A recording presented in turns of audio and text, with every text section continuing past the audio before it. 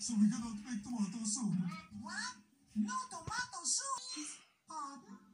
Tomatoes! Oh dear, we're out of spinach. Oh no! I can't find my bow. Shh! Speak softly. Look, it's the color game. Let's find out the car.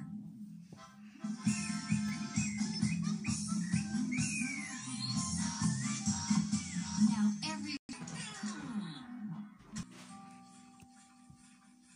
Hooray! The little assembly machine is making cars today.